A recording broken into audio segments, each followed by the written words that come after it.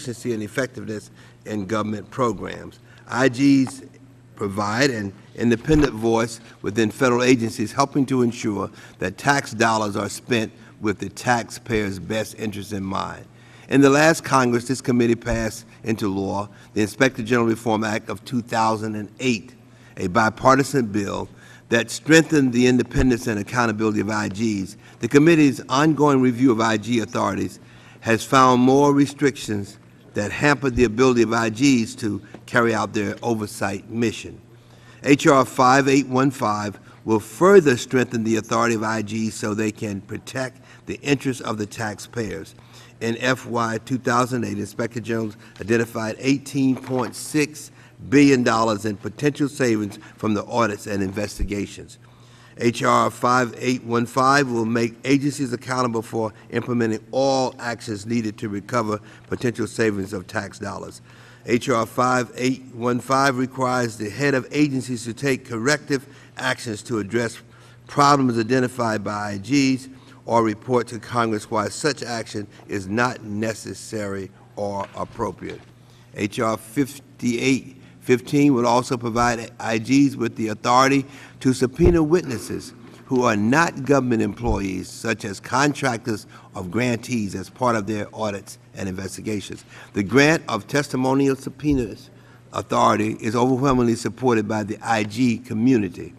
This authority would enhance the ability of IGs to conduct more thorough audits and investigations. H.R. 5815 will further enhance IG's effectiveness and independence by exempting IGs from certain requirements of the Paperwork Reduction Act and the Computer Matching and Privacy Protection Act of 1988. These acts require IGs to seek approval from their agencies and the House, White House for certain activities impeding the independence of IG investigators. I encourage all members to support this measure which will yield significant benefits in terms of cost saving for the taxpayers. And of course, I want to thank um, the ranking member, Congressman Issa, for co-sponsoring uh, this bill with me. And at this time, I yield five minutes to the gentleman from California to talk about how important this bill is. Congressman Issa. Thank you, Mr. Chairman, and, and thank you for your leadership on this important issue. As you know, we are a partisan body in order to do bipartisan and nonpartisan work, we depend on experts. We depend on independent eyes and ears. Often we get that from outside agencies. But more than ever, we depend on the IGs. Their inspections, their capability to dig into subject matter that they are uniquely qualified to observe and to evaluate is the most valuable tool we have in government. Without them, we would be holding hearings often in the blind or simply on a my side says, your side says. Along with the GAO, they represent the most important tools of this committee and more than anything else, the tools this committee has greatest jurisdiction over. In March, I wrote the each Inspector General and asked for legislative suggestions on ways to enhance their ability to do their jobs. The legislative community uh, Committee of Council of the Inspector Generals on Integrity and Efficiencies wrote us in the spring and identified some important areas. As we have gone through this bill from the time I was pleased to co-sponsor it with the Chairman, we have found additional areas that need to be dealt with, some of which we will deal with here today, some of which I hope to finalize over the August break. But notwithstanding that, Mr. Chairman, the work has been done the recognition of the key areas that need to be dealt with to give IGs the real authority to dig deep and, if necessary, dig outside of simply asking their own people. As the Chairman said, and I completely agree, an IG who can only ask their employees but cannot bring in government contractors and others is an IG that lacks the ability to do their job and often gives us a report that we then have to use our subpoena power to go after the other side of the story. That should not be the case. Mr. Chairman, I join with you and the other members on both sides of the aisle in saying the time has come to dig deeper, get more transparency, and to empower the IGs in this effort. And with that, I support the bill and yield back balance my time. Uh, thank you, gentlemen, for a statement, and thank you for his support. Uh, any other members seeking to speak on the bill? Yeah, gentleman from uh, Maryland. Mr. Just have some questions. Um, To Mr. Issa, uh, or the chairman. The, when we deal with subpoena power of this nature, um, one of the things, and I've seen this as a lawyer, uh, particularly with regard to criminal law, a lot of times, um, the concern is to make sure that possible witnesses, there are certain restrictions and uh, safeguards with regard to just the nilly-willy going out and asking anybody anything, anytime. And a lot of people, um, if you ever represented anybody in a criminal matter, you know that uh, these matters, and these, I know we're dealing with a lot of stuff here, but stuff that could start off civil, end up criminal but these matters can shake up somebody's life.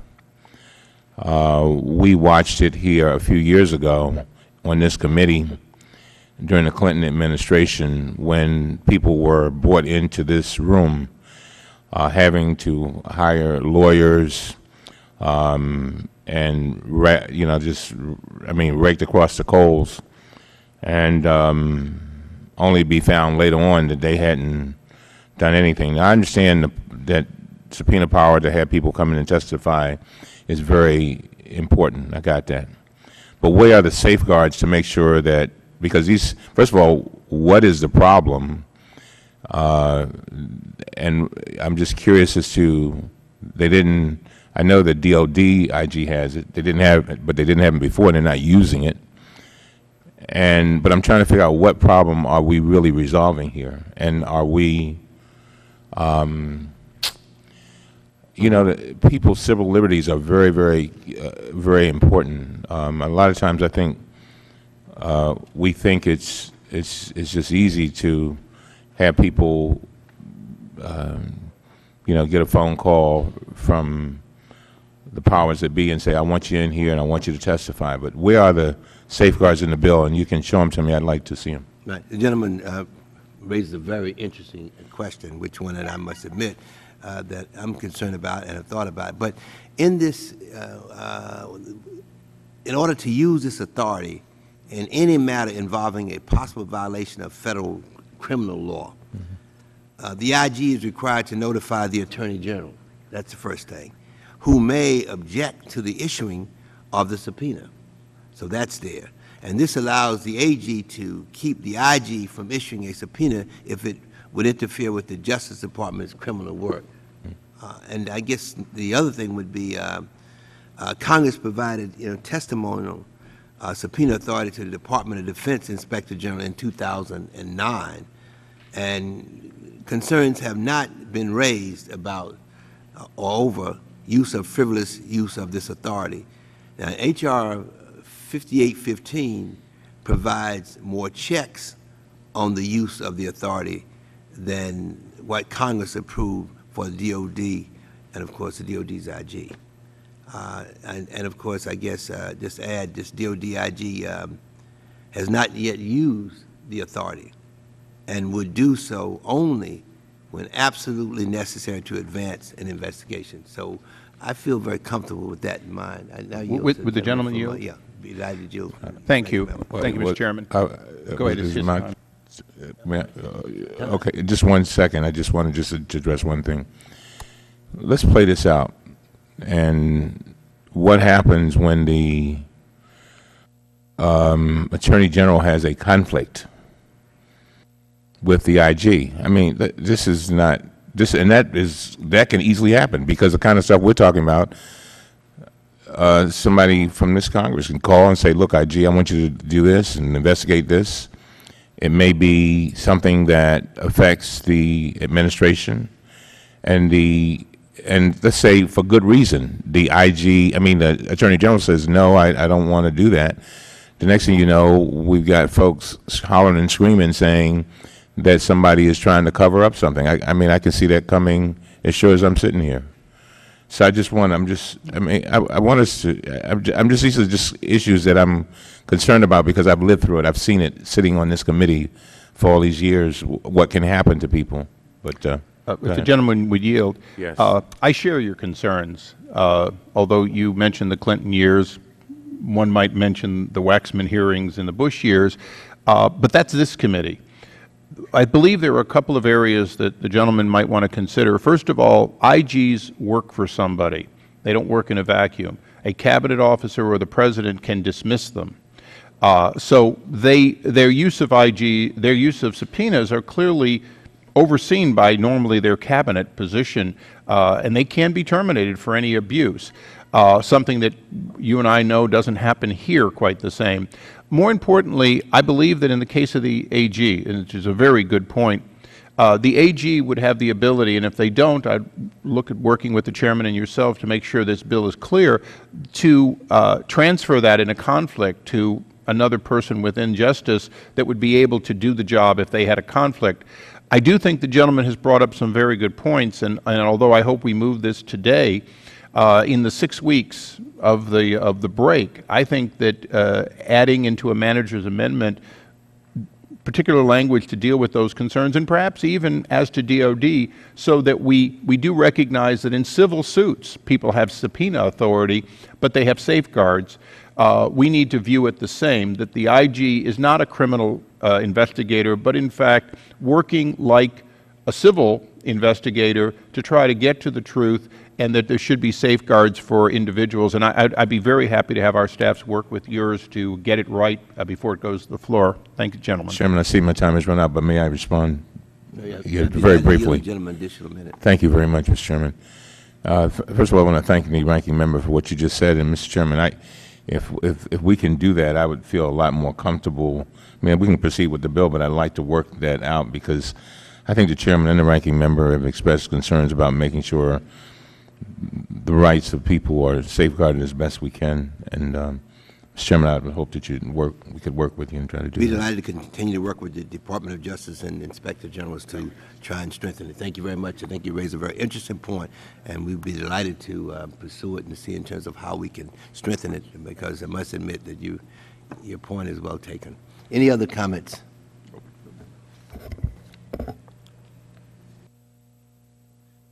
Uh, uh, Actually, um, I understand that, of course, um, I recognize the gentleman from Texas. I understand that he has an amendment, so it's open for amendments now at any time. Thank you, Mr. Chairman. Uh, Ranking Member Issa, and uh, I do have an amendment at the desk, uh, Mr. Chairman. Uh, H.R. 5815, the Inspector General Authority Improvement. Amendment to H.R. 5815, offered by Mr. Cuellar of Texas. Strike Section 5 and insert the following.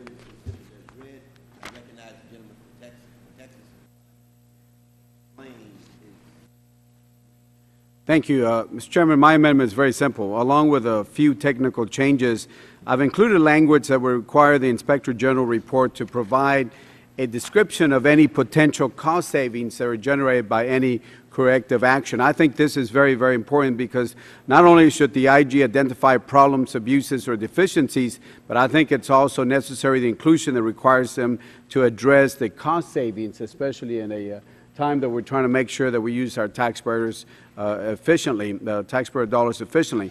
Uh, My amendment also addresses the certification that is sent off to Congress. As you know, the certification of Congress is when the head of an establishment uh, agency determines that no action is needed or appropriate with respect to the IG recommendations. Uh, If no action is taken, the head of uh, of this agency submits a certification to Congress. My language requires that along with submitting a certification to Congress, the head uh, also includes a detailed explanation why no such action uh, is necessary. Uh, I believe this will, uh, with these two amendments, I believe this will create uh, uh, more enhanced value to the Inspector General report. One is to see what the cost savings are, and number two, if they send out that certification, at least we as members of Congress should know why they're not accepting that particular variance or su- suggestion from the, um, uh, from the IG. So, uh, Mr. Chairman and uh, Ranking Member, I thank you for this opportunity uh, to submit this necessary amendment to H.R. uh, 5815. I thank the gentleman from Texas for his his amendment. Any other members wish to be heard on the amendment? This amendment strengthens and clarifies the accountability provision in this bill, and I am prepared to support it and encourage all members to do so. The question is on the Cuellar Cuellar Amendment. All those in favor say aye. Aye. Those opposed? In the opinion of the Chair, the ayes have it. The amendment is agreed to. Mr. Chairman,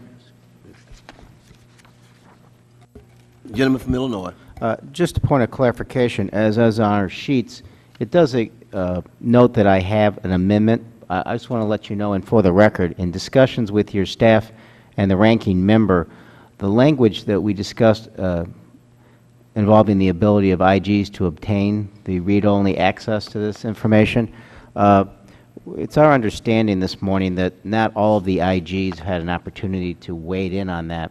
And in discussions again with the uh, ranking member and the, your staff, we decided that we would uh, uh, continue to work on that, uh, not deal with the amendment this morning, but to make sure it's part of the manager's amendment when the language is, is to um, our satisfaction. And the IGs have uh, way beyond perhaps necessity this morning, but as a point of caution, to make sure they're comfortable with this, we'll give them the weeks that we're off and include it in the manager's amendment. If, uh, and if they don't get involved, we'll include it anyway. Right. um, I tell gentleman from Illinois that uh, I look forward to um, working with you during this period to try and see in terms of uh, that we can't um, involve as many as possible and uh, be able to um, continue to move the legislation forward. And of course, there's a strong possibility we could uh, do that in the manager's amendment. Eh, would the gentleman yield? Be delighted to yield to the Uh, gentleman from- from. And I, I too join with uh, Mr. Quigley that uh, the language that would uh, define the access to databases in a safe fashion to give more direct access to the IGs is critical, but needs to have uh, the exact wording that is comfortable with all the IGs so that they, uh, they have what is deliverable uh, guaranteed, but not overstep what, what could be available. So I look forward to working with the gentleman and your staff uh, to get the language right before we go to the floor uh, on his amendment. Thank you, gentlemen. Uh, Any other amendments? Hearing no further amendments, the question is on agreeing to H.R. 5815 as amended. All those in favor say aye. Aye. All opposes, say no. In the opinion of the Chair, the ayes have it, and H.R. 5815 as amended is agreed to, and without objections, H.R. 5815 as amended is ordered reported favorably to the House.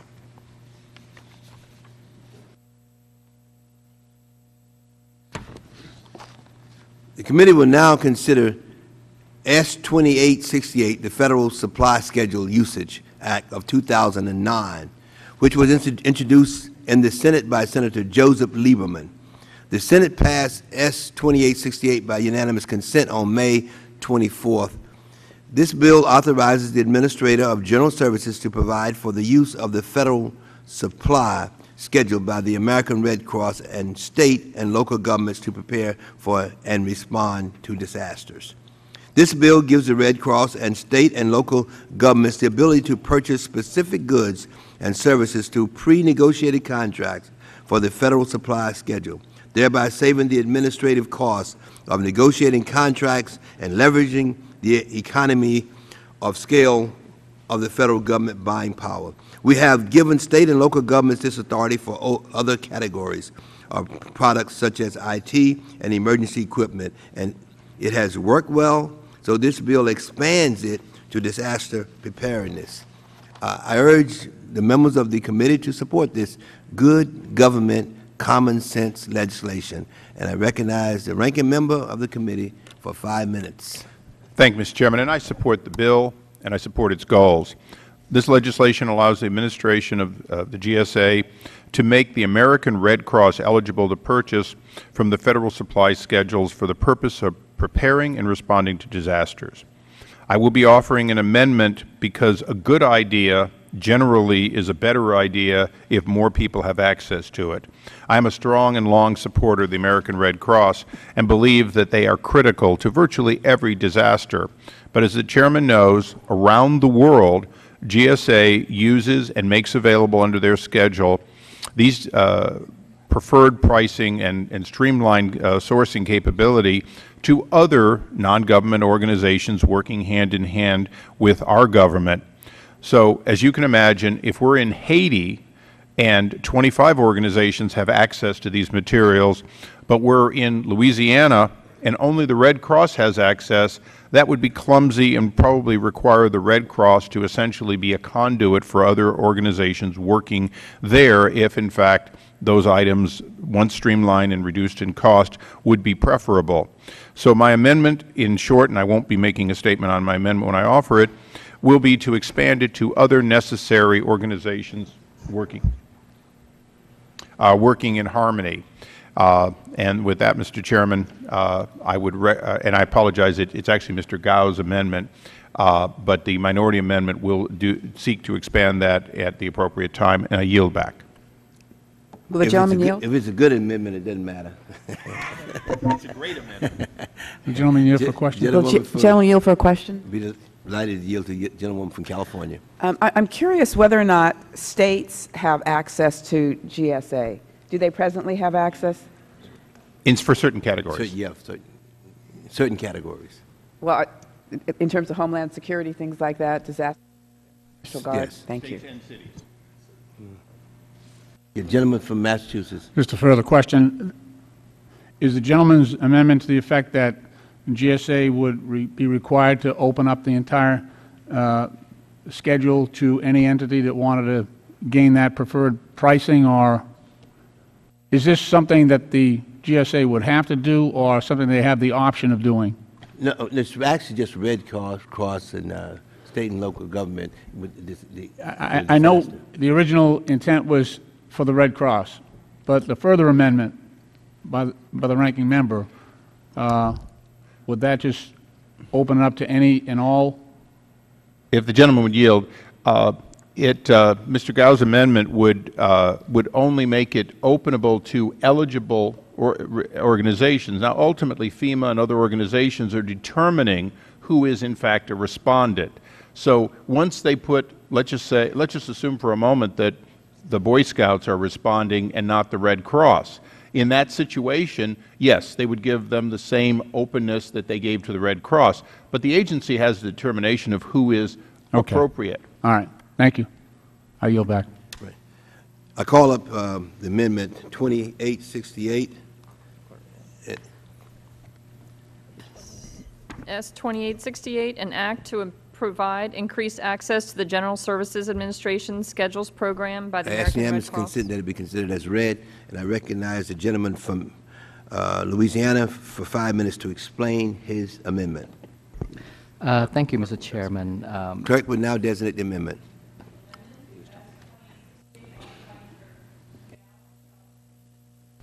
No, Louisiana.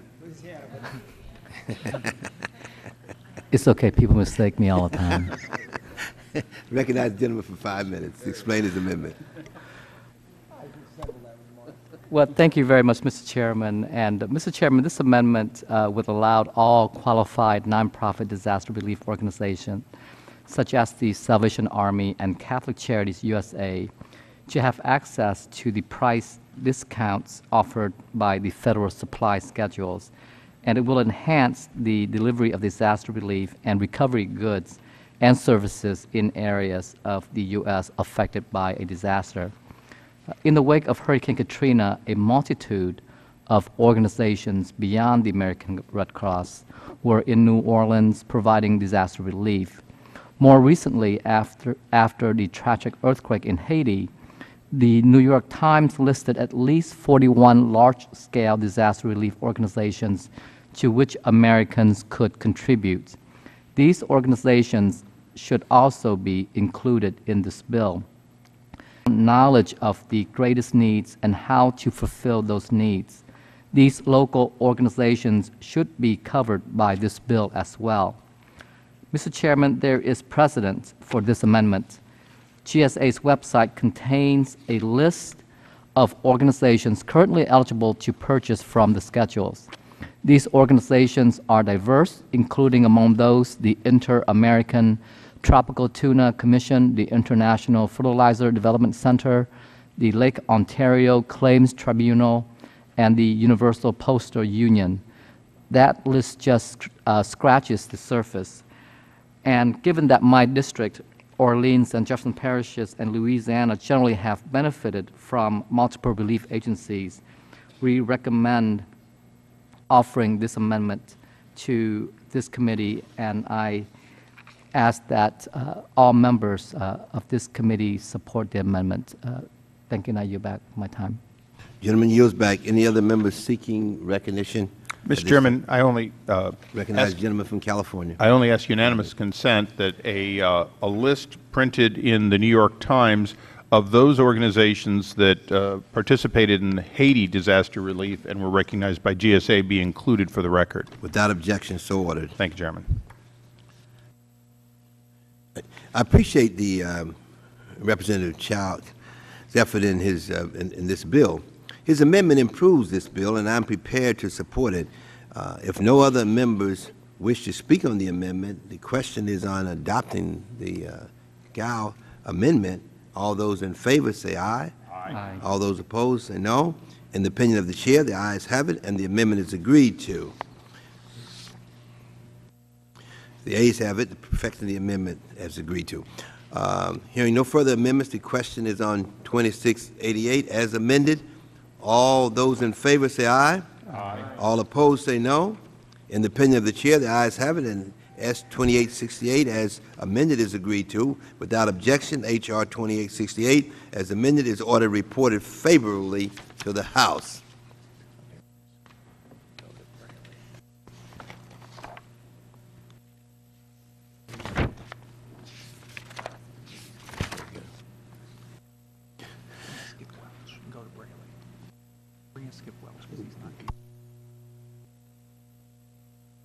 The committee will now consider H.R. 2853, the All-American Flag Act, which was introduced by Representative Bruce Braley. Uh, This bill requires that the flags of the United States of America, regardless of size, bought by the federal government, be 100 percent manufactured in the United States. Additionally, anything used to make or produce the flags must be 100 percent grown, produced, or manufactured in the United States. I was surprised to learn that current law only requires 50 percent of the material used to manufacture flags for the federal government be, to be American-made. It makes sense to me that flags used by our government should be made and produced by its citizens. I urge the members of the committee to support this common-sense, uh, good legislation, and I recognize uh, the ranking member at this time for his comments on the issue. Thank you, Mr. Chairman. As you know, on 9/11, America began flying uh, flags in huge numbers.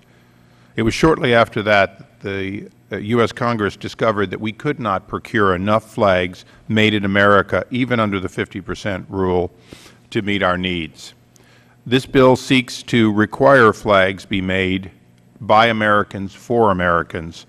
And in this case, by, by modifying the Act, we believe that we will facilitate the, uh, the ret retention of an ongoing capability in the United States to manufacture in sizes and shapes necessary American flags.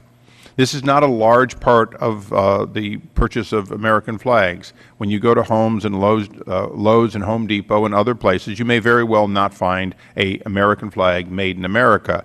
But at least as to those purchased with taxpayers' dollars and often flown over the Capitol or placed upon a deceased soldier's uh, coffin, you will find an American flag. Although we, uh, we do have a, a small amendment, we believe that this bill will pass the House overwhelmingly and become law. And with that, I thank the gentleman and yield back. Any other members seeking recognition? The gentlewoman from Well, Washington, D.C.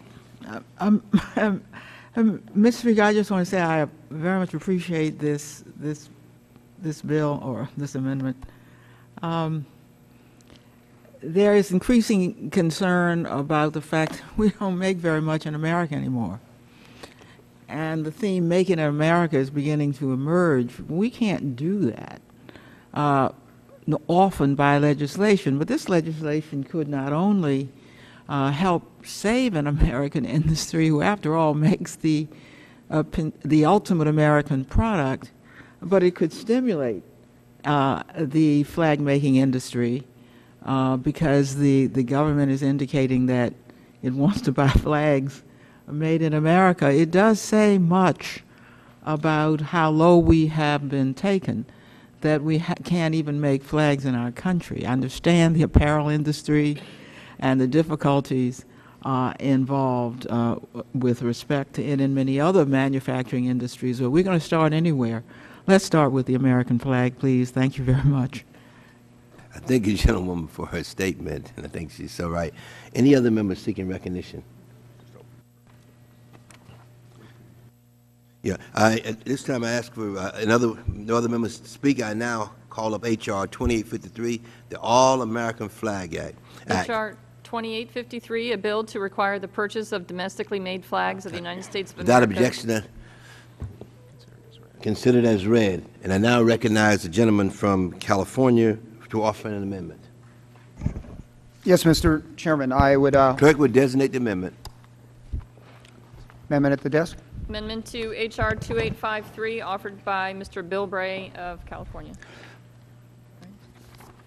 Without objection, the amendment is considered as read, and I recognize the gentleman for five minutes to speak on behalf of his amendment. Thank you, Gentleman Mr. from Chairman. I'm California. sure that all of us, when we talk about flags made in America by Americans, we, we take it for granted that we are meaning uh, flags legally made in the United States. Um, and all my amendment does is make sure that we continue what the um, new administration has moved forward to make sure that whenever we um, place these mandates out, that we qualify the fact that um, legal employers and legal employees are part of the law and need to be executed with our directions. And, Mr. Chairman, let me just say, there's been a lot of controversy in the last uh, month about, um, you know, the issue of those who are legal or not legal in here, and there have been a lot of controversy about what kind of tactics ought to be taken. But the one place that there's been common ground um, where you could even get somebody like the Obama administration and somebody like Tom Tancredo agreeing on is E-Verify. The Obama administration said this is something that works, something expanded, something that should be the new standard. When you can get Arizona and Massachusetts agreeing on this policy, I think this is one common ground we can join on. I think this is one of those things that are very simple. If you, we, our standard is that we want our flags made in the United States, made by legal employers um, who are making sure they're following the law. And this, this um, amendment just uh, clarifies that and put, um, places it clearly right up front that American made in America by legal Americans. And I yield back. Any other members seeking recognition? Briefly. The gentleman from California, the ranking member. Thank you, Mr. Chairman, and I support this amendment. Uh, the Chairman earlier uh, used the term Americans. Anyone who is legally in America enjoys the term American from a standpoint of worker. E-Verify simply recognizes that we want to ensure that people have a legal status to produce that flag and that we not simply move people from one country to another to make flags and then call them made in America. At the same time, I also believe that in government contracting, government purchasing, and the like, it is well established that we pay good wages, we pay a fair price for products, and we should expect that all of our vendors comply with all laws, including those that require that they pay above the table fair wages to their people. I believe that this uh, sensible amendment goes a long way to ensuring that you not have an underground economy producing American flags. With that, I urge its support and yield back. Any other members seeking recognition?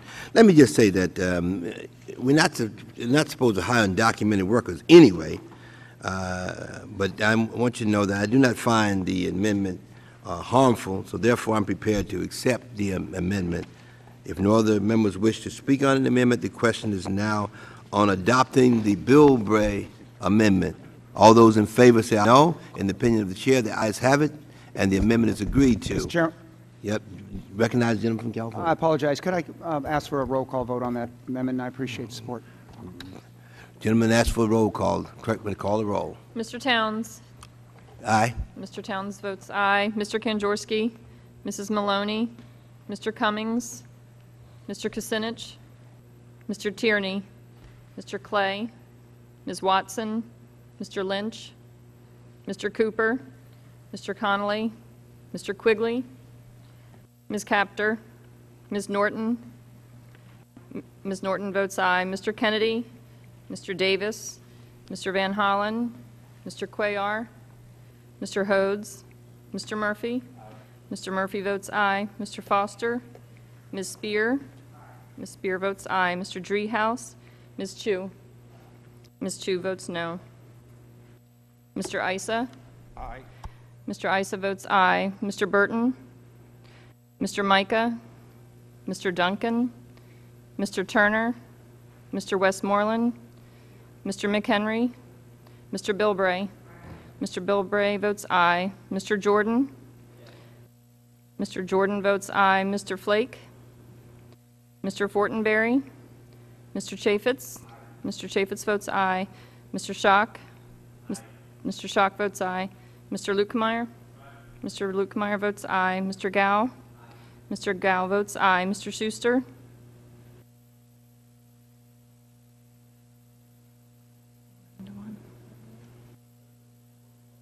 On that vote, Mr. Chairman, 11 ayes, 1 no. Hold it, hold it, hold it, hold it, hold it, Mr. Driehaus. Mr. Driehaus. Mr. Driehaus votes aye. Any Mr. other members seeking recognition? Gentleman from Tennessee. Any other members? Um, Ms. Duncan votes aye. Anyone else not recorded? Anyone else not recording? 13,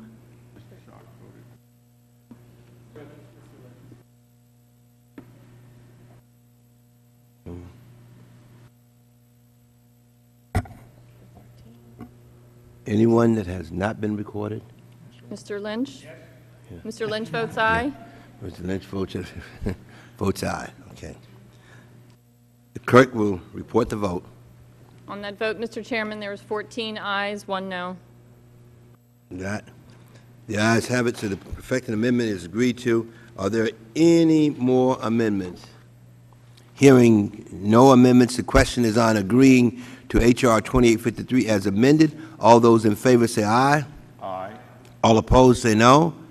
In the opinion of the chair, the ayes have it, and H.R. 2853 as amended is agreed to. Without objection, H.R. 2853 as amended is ordered reported favorably to the House.